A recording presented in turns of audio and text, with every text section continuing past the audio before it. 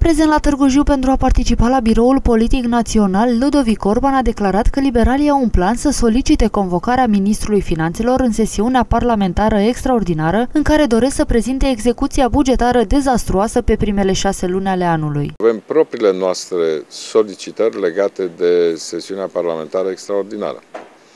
Principala noastră solicitare fiind aceea de a convoca ministrul finanțelor sau premierul care din ei dorește, să prezinte execuția bugetară dezastruoasă pe primele șase luni ale anului și ce plan are Guvernul și Ministrul Finanțelor pentru a reuși susținerea cheltuielilor publice care au fost uh, realizate prin uh, creșterile de salarii în sectorul public și prin alte categorii de măsuri uh, uh, populiste. Printre aspectele negative semnalate se numără și ordonanța de urgență privind vaccinarea obligatorie. Șeful liberalilor susține că se bate pasul pe loc cu această vaccinare pentru că nu există buget suficient. Guvernul nu a adoptat ordonanța de urgență privind vaccinarea obligatorie.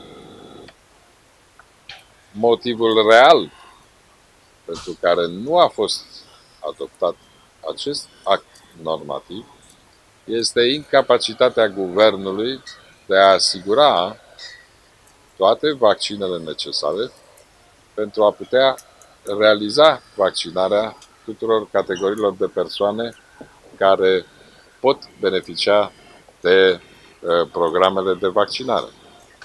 La ora actuală, guvernul nu mai are bani pentru sănătate și nu are capacitatea de a asigura vaccinarea obligatorie. Ăsta este motivul real pentru care nu a fost adoptată ordonanța privind vaccinarea. Liberalii s-au întâlnit ieri la Târgu Jiu în ședința de BPN.